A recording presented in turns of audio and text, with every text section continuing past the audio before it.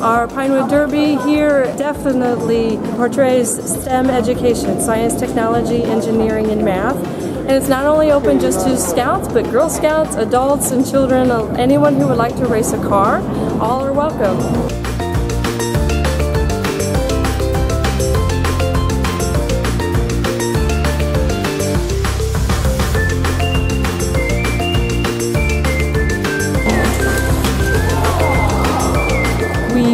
Race for qualifications and then we take qualifications and go all the way down to our final four award-winning places.